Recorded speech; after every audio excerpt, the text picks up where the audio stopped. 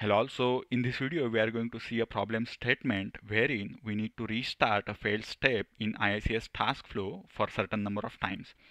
Now let's look at that problem statement, what it is exactly.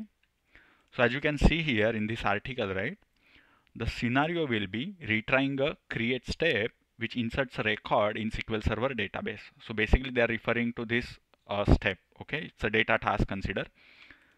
If there is any fault while inserting the data, the process will retry for four times and then it should fail.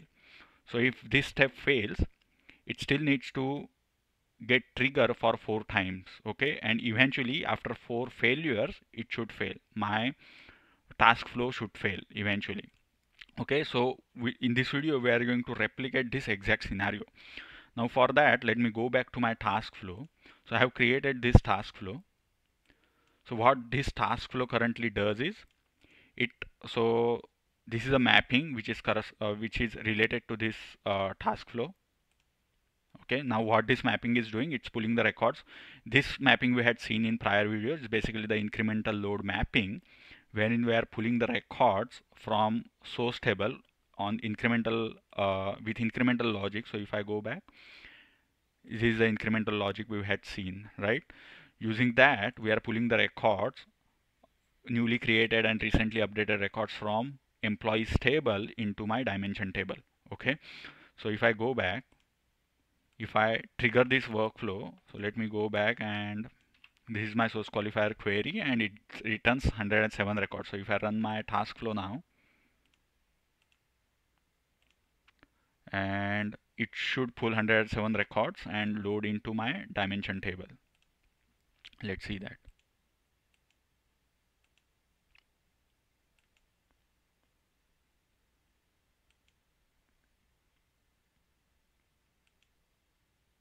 Okay. And 107 records got inserted. I mean I can again validate that if I go back. Let's download the log. So what it is is so I executed this task flow okay?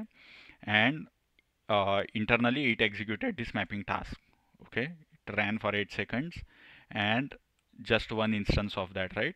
Okay only one object you can see here okay? And it process 109 records correct? Now in order let me go back to our scenario. What they're asking is if this task fails. So by some way we have to fail this uh, data task execution okay?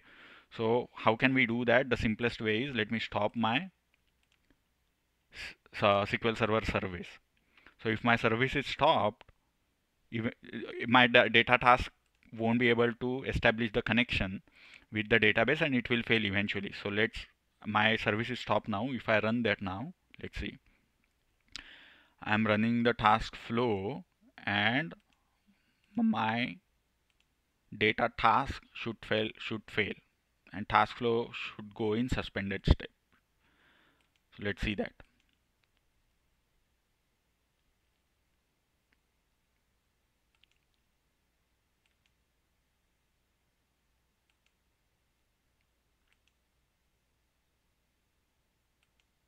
Come on. Okay let me download the log. Okay now as you can see here still just a one execution okay one, one just one object and the state is failed right? Earlier the status was completed.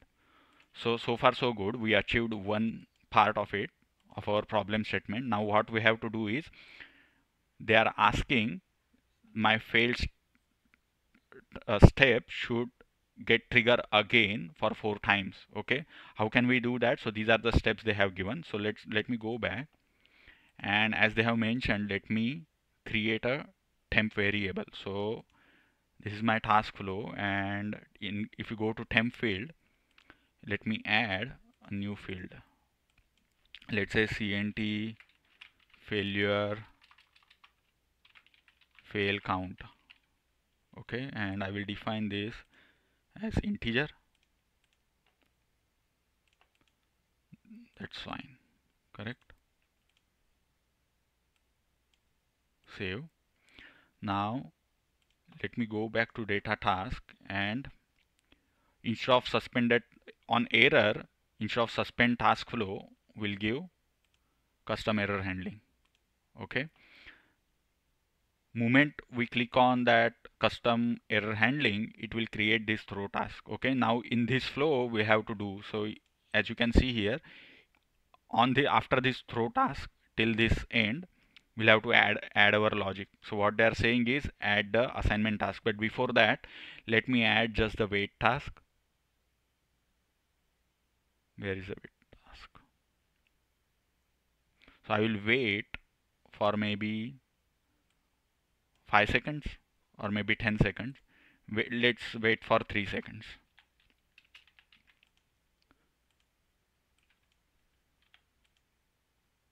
Perfect maybe after that as they have told we have to increment that variable so that we can find out how many times the failure occurred right? So let me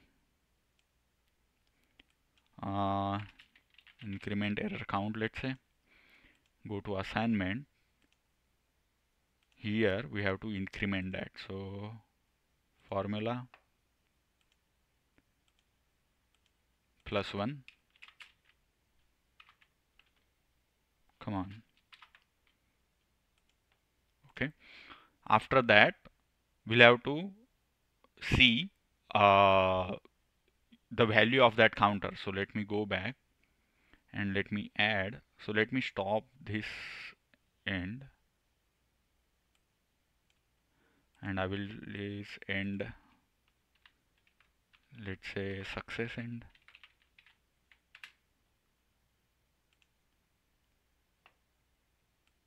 okay?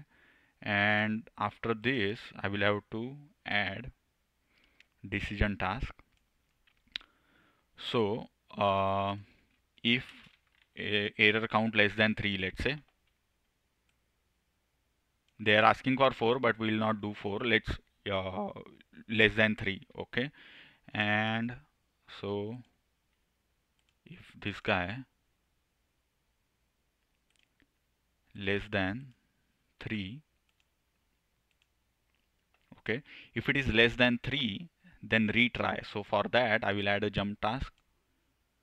And this jump task will eventually call my data task. So with jump task basically you can call a data task again okay? This remaining logic is just to validate the counter counter value okay if we don't add that and if you just add jump task here it will keep it, will go in loop okay? So we don't want that and that's the reason why we are validating that count the variable count okay? Now otherwise you just stop. So let's say failed end right? So if it is less than 3 my counter is less than 3 then it will keep on calling this calling the data task and eventually it will fail okay on fourth execution. So let's try that. I will save it. Now let's see if our logic is correct. Let me run this guy. My SQL Server service is still uh, not running. So let's see now how many times it runs. So here we saw it ran just once because it's just a one entry one object entry. Now let's see how many times it gets called.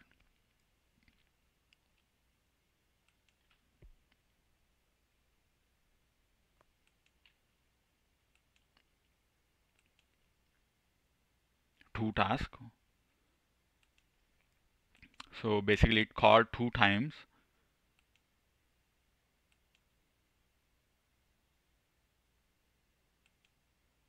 should call three times and on after that it should fail. So let's see.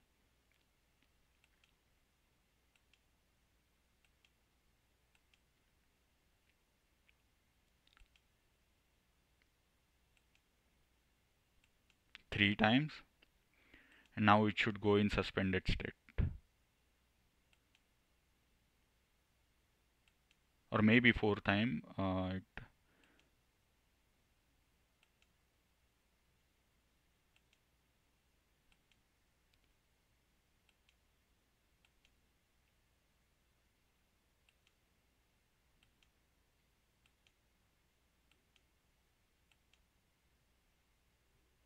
yeah. So it ran for three times. If I go back. See? So as you can see here right? It ran for three times and when that counter value increased uh, in, increased to 4 which is uh, which is not less than 3 or increased to 3 which is not less than 3 then it failed right? So let me do one thing. Let me download and now here you will see the execution. So if I language let's say JSON.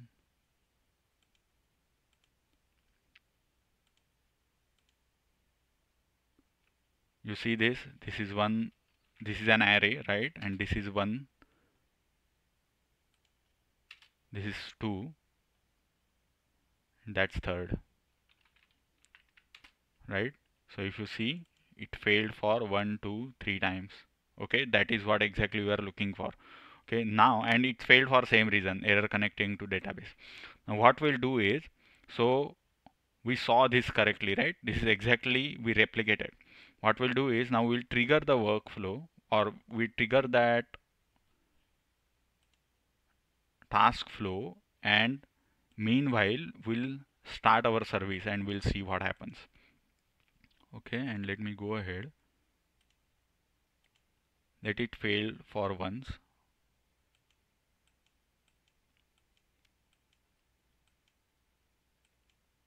Okay and now let me go ahead and start it. Okay it's running now. Now since it's running see it it completed in first task itself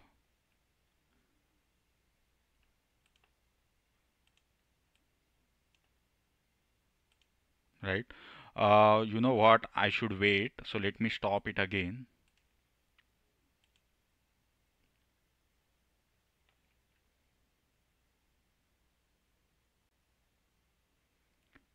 And let me trigger it one more time. So let me close this guy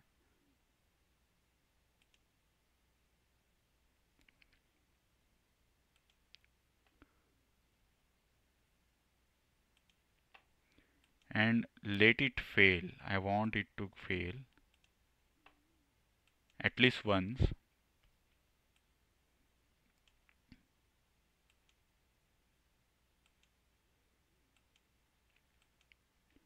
Once it goes to this wait for 3 second right? Then I will start the SQL Server service. Okay. Now it failed once right? So let me go ahead and start it now it should it should go to success. It should go over here.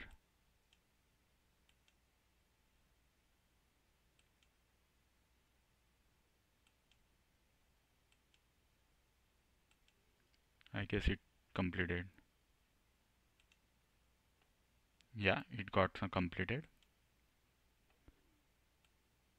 So as you can see here it failed once after failure we started the SQL Server service and eventually it went into end success. Okay so we successfully recreated this scenario by which we can restart a failed task in uh, IICS task flow right? So thanks for watching this video and see you in the next video